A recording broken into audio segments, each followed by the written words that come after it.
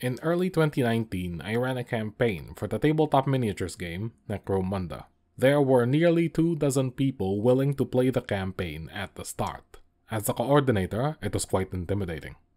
But by the time the campaign wound down two months later, we were down to just a few exhausted gang leaders. The campaign had hemorrhaged active players.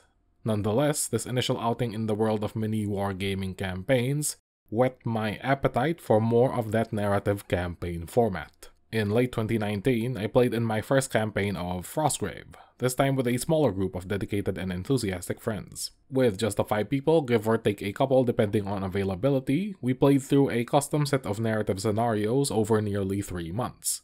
The campaign finished strong and I remember it fondly.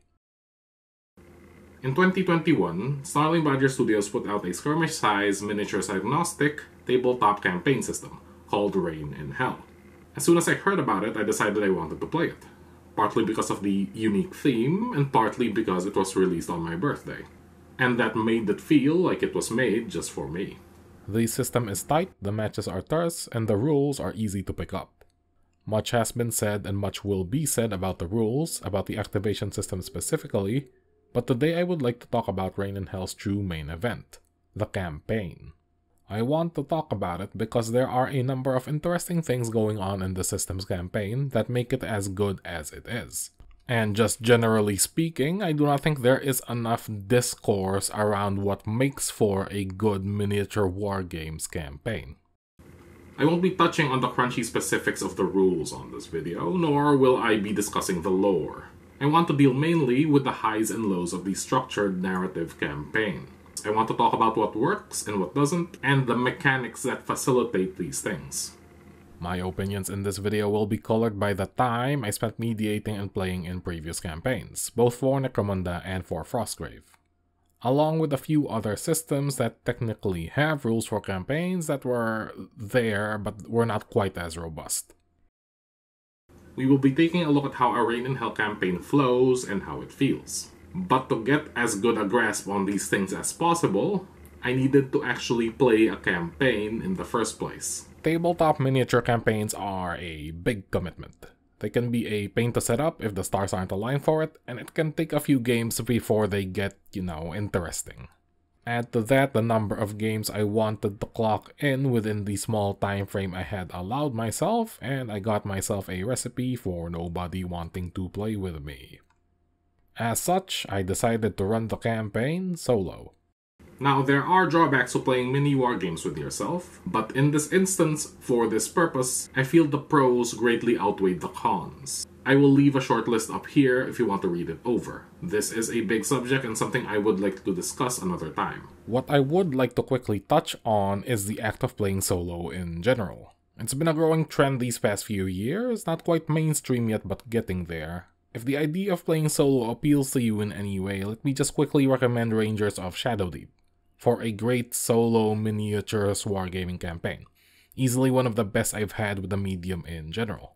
I'll put some links in the description. To prepare for the campaign, I wanted at least four Cabals, which are Reign in Hell's roving demonic cliques whose emergent stories create the campaign's narrative. I wanted them to round robin each other for an even distribution of challenge, and 4 seemed like a reasonable number to do that with. 3 goes of a complete round robin totaling 18 games, 9 matches for each Cabal, to be done over 5 or so days. That sounds reasonable, right? Since the system is model agnostic, I am free to use whatever vaguely demonic models I would like for the campaign. I had a couple of previously done warbands that could cover for two of the cabals, but I also needed to paint up an entirely new set of models made to purpose for the system to get a more informed take on the experience as a whole. So for the third Cabal, I 3D printed a batch of models from artist Duncan Shadow, whose work I'd been keeping an eye on for ages. These are his free models on Thingiverse, but given how they came out, I am likely to start throwing money at him soon. The fourth and last Cabal was 3D printed from models from another artist, Schlossbauer, who puts a criminal amount of their work up for free on Thingiverse. I'm currently on their Patreon, I love the work, especially on the fleshier beasties like these ones. I compose and paint up the initial 7 models for each Cabal with the intent of filling them in with other models from my collection as they progress. Once finished, I give them all very simple backgrounds appropriate to the lore to try and set the mood before the dice start rolling. From the inky depths of nothing come the Void Rogues, affiliated with the philosophy of the empty and led by the doting Mother Tail, along with the decidedly less doting Void Demon, Helmet. The Panopticon represent the crazed philosophy of the demented and are herded by the zealot known as the Woe Strider. Abaya, the large floating serpent of flesh and eyes, is often seen in their ranks. Soul transfers are big business, and the Viridian demons of Fungicorp brokers are keen to capitalize on Hell's latest and greatest power vacuum. They are led by the enterprising schemer Monty, along with his tallyman Lunatic Leo. Hell's Byzantine bureaucracy is never without its enforcers, and the King's Court look to re-establish some form of order in all the recent chaos, led by the Duke and tailed by his brutal executioner, Gallant. Once my cabals are ready, I lay out a round robin for them, gather up all of my tools, and I finally get to go to hell. Hey there, so I've just gotten back from work and I've finished my first game of Reign in Hell. I'm going to be doing the campaign, and every day I'm going to stand, well, sit in front of this camera and talk about my feelings on it very briefly.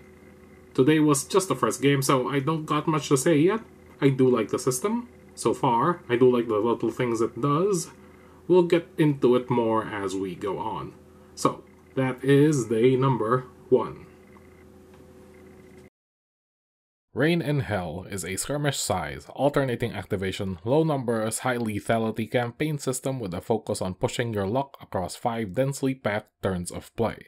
The game revolves around its unique activation system, which works off 12-sided dice, one for each demon.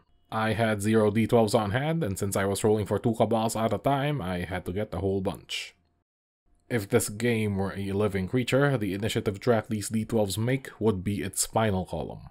Every other system is built around and informed by the initiative track. And just like in real life, if you accidentally knock the spinal column's vertebrae out of place, you are in for a bad time. Each d12 corresponds to a single demon, any demon. And at the top of each round, each player rolls all their d12s, then does a little counting game, lining them up in descending order. Activations start with the player with the highest number. If they're tied at top place, usually a 12, they roll off with d6s to decide who goes first. But if they tie again in the middle, it simply goes to the person who hasn't activated yet. Each time a player takes one of the turns, they will take one of those dice and they will assign it to a demon, usually to try and make it murder another demon. Once a demon has gone and had a dice assigned to them, it can no longer activate for the round. When a demon is slain, you have to take one of the unused dice off the track. This happens regardless of whether the demon has gone or not. Like in other alternating systems, slaying a demon that has not yet activated effectively removes what would have been its turn. Unlike other systems, slaying a demon that has already activated deprives the rest of their cabal with what would have been a completely fresh activation.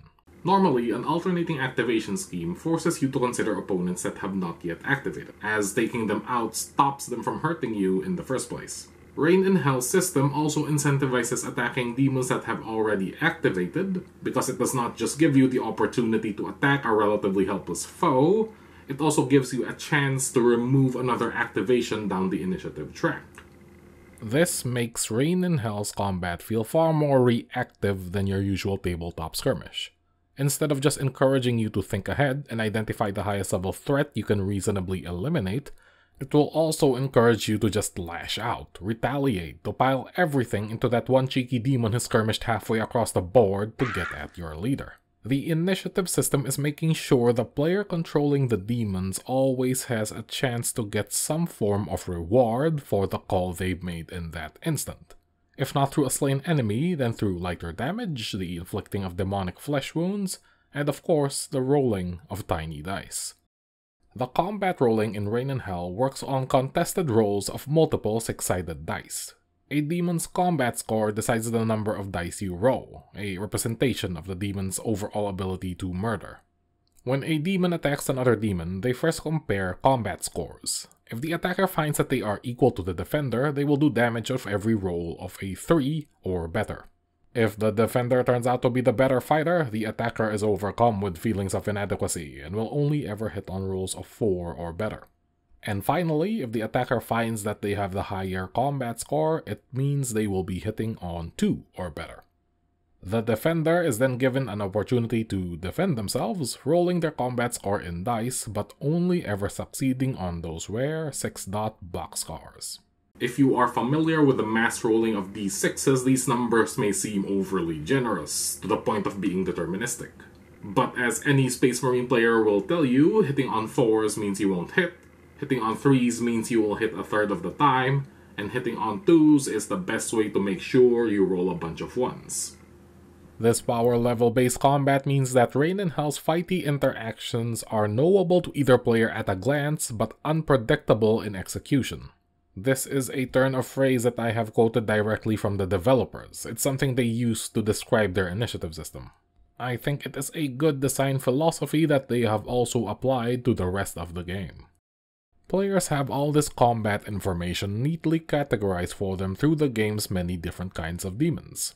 The demonic archetypes are arranged in evolutionary levels, starting from the readily available lesser demons to the mid-campaign greater demons and the late-game superior demons.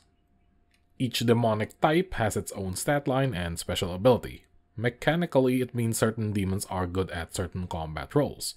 For example, Slaughter Fiends are better at reactive or extended combat, while Spine Demons are much better on the initial charge. Despite the game being very concerned with direct combat, not all of the demonic types lean into just doing murder. Armored and corpulent demons move slower but are far more difficult to kill. The Zippy Tentacle Beast penalizes all enemy demons within an inch of it, one of the few instances of the game indulging in debuffs. This makes the Tentacle Beast easily the hottest target on the board. They give all your demons a minus 1 to combat, so you want them to die immediately. And then finally you have the Flying Mephit, which while near useless in a fight, can easily traverse over other models and terrain. This selection of lesser demons makes up about 4 to 6 slots of your Cabal. Rounding this up to 6 or 8 will be your leader, and their right-hand demon, the Devout. The leader represents the Cabal's demonic mob boss, and at the start is given the most layers of customization to play with. You can choose your leader stat line and special ability from a selection of three types, then further tune them with a leader-specific essence and a leader-specific relic. On top of all that, you will also have to pick a philosophy to subscribe to. A philosophy is not quite a faction per se. The book is more concerned with presenting it as an abstract ideology, a demonic worldview. Thematically, a philosophy will align the Cabal with a penchant for either chaos or order of varying flavors. Mechanically, it will give the Cabal a blanket bonus that ties into the philosophy's theme. It also determines what devout your Cabal gets.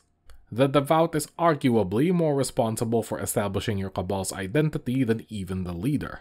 The Cabal wears the Devout on its chest as a badge of their in-lore worldview, and the Devout in turn offers very specific, and oftentimes quite in-depth, mechanics that run off the philosophy's distinct theme. You are not given customization of the Devout at the start, other than what model to run it as but the book itself suggests that you perhaps put your devout onto a bigger base. The recommended base sizes for the devout are the largest of all the demon types. That is how important the devout is, both mechanically and thematically. The Cabal's devout is determined by philosophy, and some devouts are more martially inclined than others. This will mean that your choice of leader will be informed by the nature of your devout as they are often, especially in the early campaign, going to be your two heaviest hitters. This means that your initial choice of leader and devout pairing will have a massive knock-on effect down the rest of the campaign. For this review's purposes, I've gone with 4 different leader-devout combinations for our 4 cabals, and I can tell you now one of them will end up not doing so well. The one thing, however, that draws all of these elements in, packing them in nice and tight, is the fact that there is no shooting. The verbs of the system are fight, move, and then don't move so you fight better. From the start of this campaign's progression all the way up to each Cabal's terminal game, not one single demon will ever do a range attack. This is absolutely on purpose because it makes every combat intimate. Each time your demon does harm to another, it is always with the caveat of putting themselves in harm's way. Each engagement increases the decision making options of the other player, who will invariably do the same thing in turn as they try to murder a thing so that the other things won't get to murder more of their things, all of this in a big, happy mess in the middle of the board. Right, so it is almost 1 a.m. on day 3 of this, and I have played quite a few games already. It's an, it's an interesting system. It moves quite fast. You only play for like an hour and a half at most, maybe two hours if you're going real slow. That's including all the setup, all the takedown, all the post game, all the post game stuff. All the post game stuff, which is very fun to do. I don't quite get the brokers though. The brokers. Uh, the tallyman. The tallyman feels like a dead weight. I can't quite figure out how to use him yet. If you run brokers, I recommend going with a warrior leader. Go with a warrior leader. That should make the brokers work.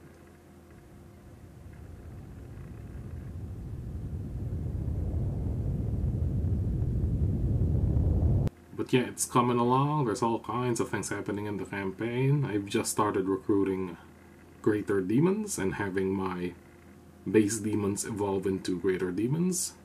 And hopefully by the end of it, I'll see a few superior ones too. As you wage your campaign through Hell, the specifics of your battles will be defined by scenarios. These scenarios themselves are given further variability by the terrain you set up within the confines of the game's sensibly sized 22 by 30 inch board. The book comes with 10 scenarios to choose from, all crafted with a single goal and a binary win loss condition. As far as I can tell, you don't draw in Reign in Hell, both of you just lose. Each scenario has unique rewards, and each one will have a unique way to be optimally approached. Normally, scenarios are ruled for at the start of each game, but in this campaign's case, I rigged the scenario so that I could play each one within the span of the 18 games. Each scenario also specifies the density of the terrain setup. Reign in Hell has an entire section dedicated to the rules for terrain. For this campaign, I followed the terrain setup for each scenario and made liberal use of the optional terrain rules for each and every game. I know the rulebook says to use these at your discretion, but I personally advise players to make liberal use of these optional terrain rules. It adds a lot to your decision making and it gives certain demons, relics, and essences more utility. The combination of the different scenarios and the terrain randomization does a good job of providing diverse play environments. Some scenarios cater to more mobile teams, other favor teams with strong damage punches, and other favor teams with a good overall balance. Of the 10 scenarios available, only 2 of them tell you to kill a demon. The rest will run off objectives and area control. But the game isn't really about objectives. It's not like Frostgrave, which is ostensibly a looting game in which you get in each other's way. Reign in Hell may have a lot of win conditions to do with pushing buttons and standing on points, but it is really way more concerned with making the players want to hurt one another. Reign in Hell uses its scenarios and objectives as ways to pull the Cabals into unique fighting arrangements. Even with the most Frostgrave scenario, uh, Relic Hunters, the game still gives you two easily reachable objectives each, and then it simply implies that mugging the other Cabal is the way to win. In the Twins, the scenario tasks both players with destroying one of the two objectives. Either one will do, but to destroy the objective, you need a demon to channel the power of its twin. And oh look, the opposing Cabal is trying to do the exact same thing. These scenarios are puzzles. They are they're simple puzzles, ones that you solve with murder. There is no non-violent out, like in Frostgrave, where you can just drag loot off the board. It leans closer to Necromunda, where the scenarios are just set dressing to the combat. And the combat, as promised in the book, is brutal. The lowest number of slain demons I had in any of the 18 games so far was 4. Each time your Cabal slays an enemy demon, provided one of yours did the deed and have other demons adjacent to the murder, you'll get to roll a soul dice. In game, once you get them, soul dice may be used to replace combat roll results, or to boost a demon's movement for one activation. However, you likely won't be using them for these things to begin with, because souls are also your Cabal's main currency. The first thing the postgame rules ask you to do is to roll on the soul loss table for each of your slain demons. The likeliest result is the one where nothing happens. The demon's fine, just another day in hell. There is also a chance the demon gets boosted in a small way, or even rarer, in a big way. However, there is an equal chance that the demon comes out of it weaker. In rare cases, the demon could become entirely insane, now functionally useless. Or it could completely reset back to its baby form, like a Digimon. You obviously don't want this to happen to any of your demons, so the game lets you pay up with exactly one soul dice, exactly one time each per demon, to try and stop these nasty rolls from doing too much damage to your cabal. The soul loss table is interesting, because while it will hurt your demons, the chance for them to get better is also a constant. For example, one of the Panopticon's tentacle beasts, Jaw, has been slain every single game, the full 9 times, and each time he has refused to take any damage, coming back either unharmed or somehow better than before. By the end of the campaign, he was just as big a threat as any of the Cabal's leaders. The second thing the postgame rules ask you to do is to roll on the rewards table. Regardless of winning or losing, you're still going to roll on here, exactly once. If you have won the scenario just passed, the scenario-specific rewards might also grant you some additional reward rolls. Letting the losing Cabal still roll on the rewards table is a measured, well-regarded decision. It shows an understanding of what makes a campaign fun and what makes a campaign frustrating. The rewards table can grant you three things. Essences, relics, or absolutely nothing. Essences are what another, less spicy system would call perks or traits. Whenever you get one, you assign it to a demon and it is forever theirs. Each demon can hold any number of essences, but can only ever have one instance of each. They run the range from pretty good to oh look, the entire power dynamics of the campaign have suddenly shifted. For example, around the halfway mark of 6 or so games, Helmet the Void Demon had lost 2 points of movement to Demonic Atrophy. This wasn't so bad because of his ability to teleport when he moves, along with his other special movement rules. But one game he ended up rolling for the Essence of the Void. It gave him this once a game trump card of going wherever he wanted within 12 inches, and that immediately made him one of the biggest single threats in the entire campaign. Relics are equipment. They are very close in spirit to artifacts from Warhammer Fantasy and Age of Sigmar, in that they are specific things with specific names, but you don't actually need to model them onto the demons. Each demon can have exactly one relic, but your demons may freely trade their relics between one another in between games, like held items. In Pokemon, their bonuses are more grounded than essences, though in combination with the right wielder, a relic can turn a demon from alright to oh no. Once rewards are done, you move on to post-game step 4, tracking the titles. This is a familiar concept from video games, although I think this is the first time I have seen it implemented in such a way for a miniature wargame. The titles are very thematic. They help so much in both the telling and the remembering of your Cabal story. Once you fulfill the requirements of a title, your demon can either opt in and take it, or opt out and lose out on it forever. Some of the titles tie into fail states, requiring the demons to die in specific ways to be able to qualify for them. An example is Unstable Steps, which gives a demon more confidence on rough and dangerous terrain once they have died on rough and dangerous terrain one time.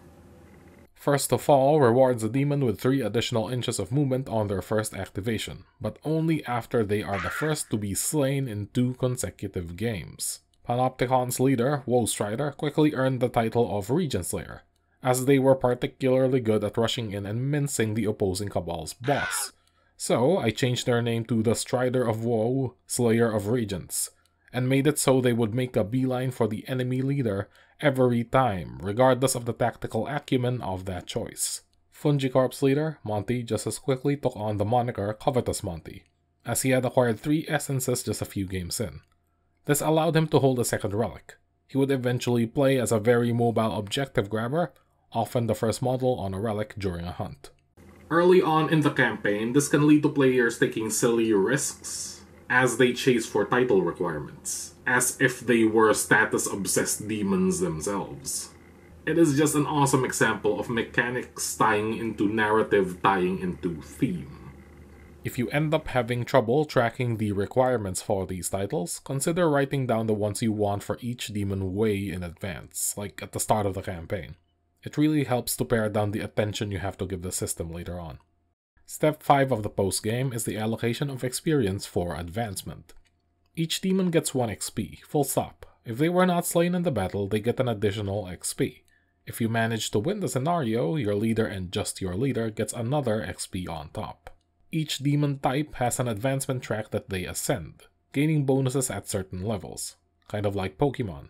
At certain steps, a demon will also evolve into a greater and then a superior version of itself. Exactly like Pokemon. This means that the demon gets a static stat bonus as opposed to the more variable increases and decreases of the soul loss table, and the D3 variable rolls of the in-between evolution steps. The evolution stat gains make the growth of your demon knowable, but the variable increases also make it unpredictable. I am going to abruptly segue here to bring us back to the rules for retreating. I only bring it up now because I think advancement is one of the most pertinent things it ties into. Retreating at the earliest opportunity makes sure that half of your cabal doesn't have to roll on the soul loss table. But more importantly, it makes it so they get twice the XP they otherwise would have. The book points out that retreating is most often the smart option, and I absolutely agree. Early on in the campaign, I would usually play games out to the bitter end because I wanted either side to get the bonus from winning. Really, what you would maybe get from winning usually isn't worth trading in the 3 or 4 experience you would have instead gotten from running away. This is especially the case for your leader, who makes the most out of every little bit of experience that they get. The sixth and final step in the postgame is the recruitment and expedition step where you take whatever unspent soul dice you have left and permanently convert them into regular old souls. Each dice is worth 6 souls, regardless of what you'd rolled on it. You spend souls on two things recruiting new demons and sending out expeditions. I found that it was good practice to set aside 10 of those souls for a constant stream of regular expeditions. Regular expeditions give you a chance at an extra reward roll during the next post game sequence, if you roll a 4 plus on a d6 that is a 50% chance. This can be a worthwhile investment in souls as a lucky reward stable roll can get you some fancy things. Alternatively, you can pay double for a rushed expedition, giving you a chance to immediately roll on the rewards table if you roll a 5 up on a d6. That is a 0% chance. This is a risky if immediate investment and is likely meant for late game when you have an abundance of souls and nothing to spend it on. As nice as expeditions are, earlier on, the most solid way to spend your souls will be to recruit more demons, especially around game number 6. This is when your leader hits about 10 XP and when you first unlock greater demons. There are three new demons to choose from, each with unique abilities, and they're fine?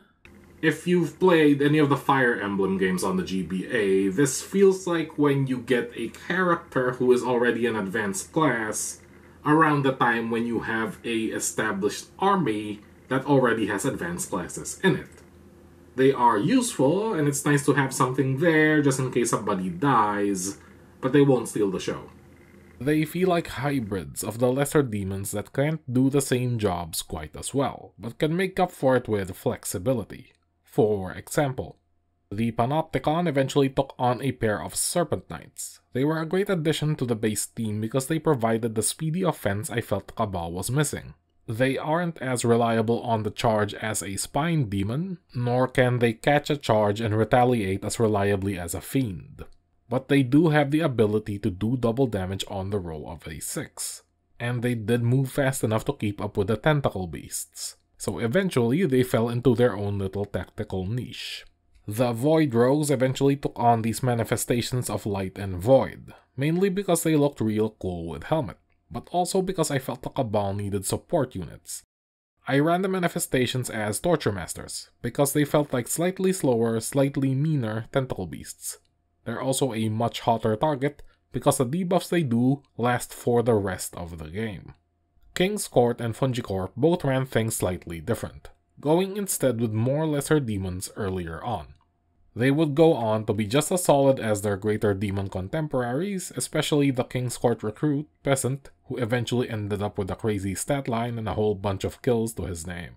Fungicorp was still having a hard time catching up. Their devout was still dead weight and I couldn't figure out how to use him. This was not good for them as we were closing in on the last games of the campaign.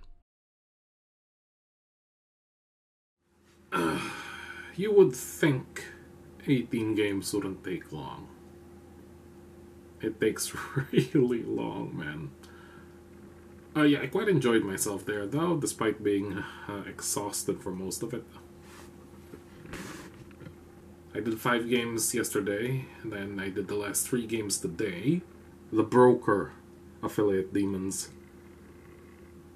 I couldn't quite get them. I ran a Schemer and the Tallyman. Now the Tallyman, he is not a combat demon. And you can really feel it. Because, man, he is not good to start with up until you get that first greater advancement. That's when he gets a little bit punchier. But up until that point, oh my god, he just does nothing. And you can't really take advantage of his abilities while he's, still in that gimpy form. And yeah, they could never really recover from there, and they didn't win a single game. They managed to draw once versus Panopticon, and they did manage to put up a fight, but by the end they were just like running away on turn two or turn three. Felt really quite bad for them. And by the very last bit, the very last game, game 18, everybody had enough souls to buy a superior demon. The problem was only three of the Cabals had enough experience on their leaders to legally buy the superior demon. The brokers because they were beaten so many times, were short like seven experience, so they were just completely out of the arms race at this point. I was hinging on them like being able to buy better demons sooner because they can statistically just have more souls on them. But it just didn't pan out that way. They just ended up generating the souls so that they could pay for their hospital bills and scrape themselves up off the floor. But yeah, that's my uh, off the cuff impressions. I'll get back to you in a more organized way post process. By the time I finish the last game, I am acutely aware of Reign in Hell's single greatest shortcoming. Yes, the system does have flaws. I realize I've been heaping praise onto it for most of the review, but it isn't perfect by any means. For example, sometimes when you roll on the reward tables, like all of the reward tables, you come up with nothing. Rolling for a reward and getting nothing does not feel good. Another criticism would be for the title system. Like, it's really cool, but it ends up feeling very gamey around the middle of the campaign. Each Cabal will very likely have a set of all the quote unquote good titles assigned to the most relevant demons it will start to feel less, less like a selection of titles to choose from and more like a checklist to fill out. A fix for this would just be to make more titles, of course, for a more robust selection, but I acknowledge that's way easier said than done. The next slightly more nebulous criticism is to do with the nature of the games as their numbers grew. Along with the win-loss track, I kept a record of how I felt the games played out from an entirely subjective, uh, quote-unquote, balance standpoint. Early on, the matches all felt relatively even, as if they could go either way up until the last couple of turns. But later in the campaign, I found myself barely hesitating to retreat the losing Cabal, retreating the losing team basically every game. There was a lot more to lose after all, the demons were now matured and powerful, so I was more hesitant to have them suffer a roll on the soul loss table, just for the sake of whatever paltry bonus the scenario win would give me. And one final thing while I'm whinging, demons with a 4 inch move that's uh, corpulent and armored demons and the devout for the brokers, they tend to get left behind. Because, like in a game with five activation stops, if you're spending three of those activations just moving up, maybe not even coming into contact with anything on your third move, that particular unit that does that will feel kind of, what's the academic term? Useless. But of those criticisms that I have just brought up, none of them are really all that major. But the one flaw, the one flaw that Reign in Hell, the one flaw that Reign in Hell the campaign has is that it does not end. There isn't a concrete mechanical goal, as seen in Frostgrave's ultimate spell and maps systems. It doesn't have a Sengoku style land grab system, as seen in Necromunda. It doesn't even have a rudimentary test checklist, as seen as something as simple as Warcry. I don't know if this is an oversight. The core of the system feels deeply considered and thoroughly playtested. So it is weird that the campaign not be given even a simple end point. Now, the cynic in me is just assuming they will come out with more rule sets and that they will sell those rule sets and that those rule sets will possibly have the campaign endpoint. After all, that is just good business. But the mini wargaming hipster in me is saying, maybe they don't want the campaigns to have an end. At the end of my marathon run through a solo 4 Cabal campaign, it was a genuine struggle in places. I could feel the never ending combat these demons had to go through, being eternally ground down towards the edge of insanity as an effective ludic interpretation of hell itself. But I am sure that isn't on purpose. At the end of it all, Panopticon, the Void Rogues, and King's Court were all riding high. It's tough to choose a winner of the three, as they all had their strengths and could easily take one another on. Panopticons, Woe Strider, Abaya, and Jaw, just by themselves, felt like they could take apart any other given trio of demons within the campaign. True enough, the Maddest Demon Abaya had led the Cabal to victory against the Beast two times. The rest of the Cabal were no slouches either. They didn't actually win a lot of scenarios, only three across the entire campaign, but by game 9 they had more than enough to recruit a superior demon to fill their last slot. The Void Rogues were the most well rounded faction by the end, having the two toughest models in Crag and Staff. But they also had their teleporting Void Demon, Helmet, as a precision scalpel to pull out at any given moment. They also had the two meanest fiends, Tongue and Tooth, who were both rocking combat 8 by the end. They also had just enough to recruit one superior demon by the end of the ninth game. The King's Court had the most spine demons out of the bunch. By the end, they had three of them, along with two fiends and two mephits. Mephites. Mephites? They were mobile and punchy, with two very tough beat sticks running the show. Duke, their warrior leader, could easily have taken down any other demon in the campaign one on one. They beat out the Void Rogues for total wins at the end, by just the one match. They also had enough for a superior demon by game 9. Fungicorp were this campaign's runaway losers. Their build was flawed from the ground up, and I simply could not make the engine of their cabal go. I blame this entirely on their devout leader combination, as I had deprived the Cabal of a truly combat capable demon from the very start. Monty is an able leader, the easy access to Covetous title really helped him toughen up at the start, but he is no fighter. Leo, on the other hand, mainly pulled his weight by killing his own Cabal's demons to take advantage of their philosophy's unique mechanics.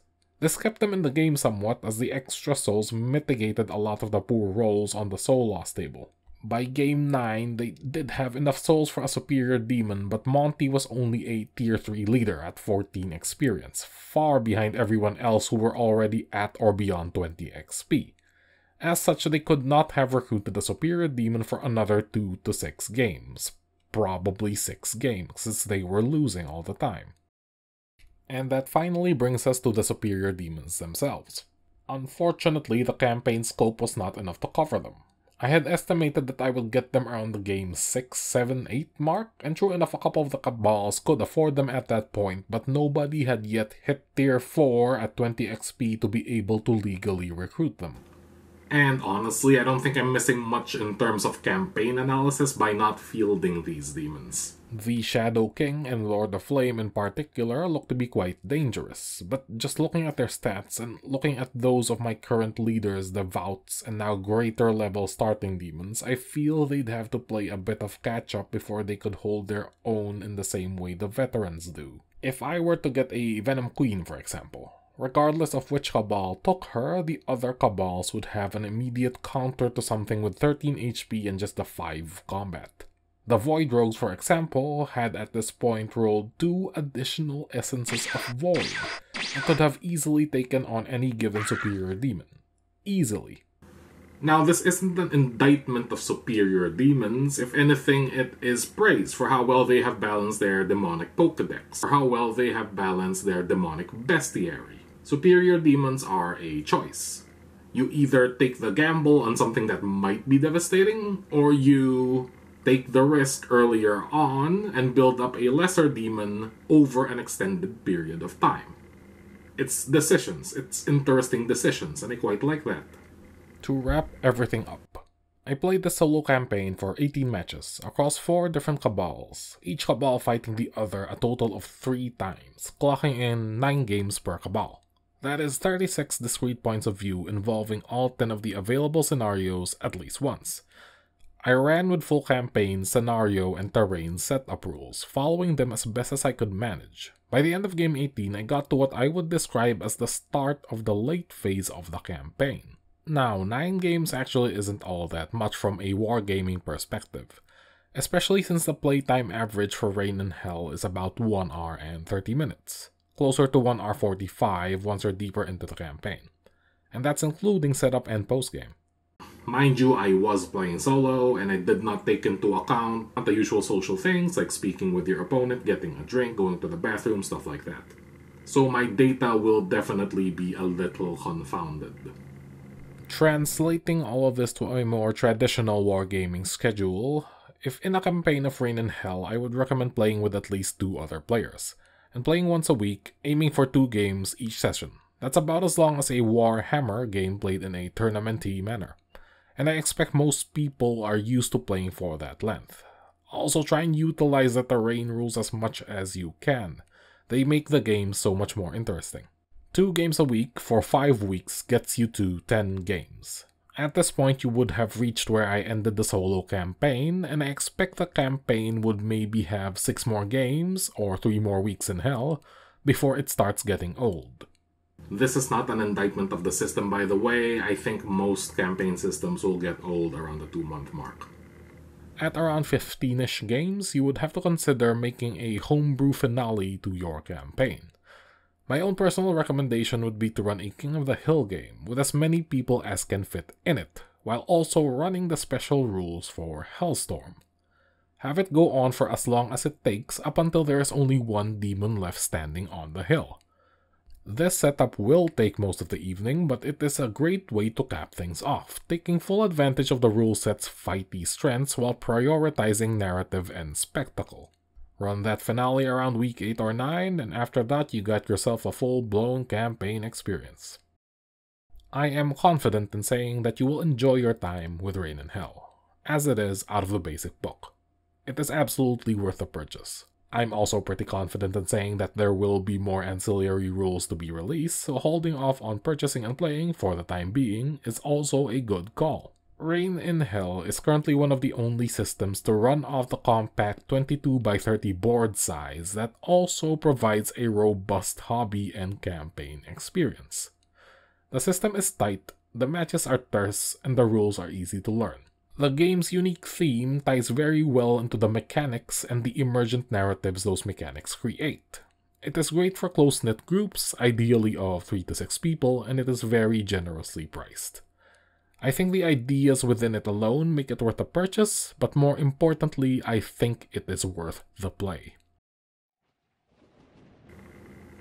Thank you very much for watching, and I do encourage all of you to go to hell.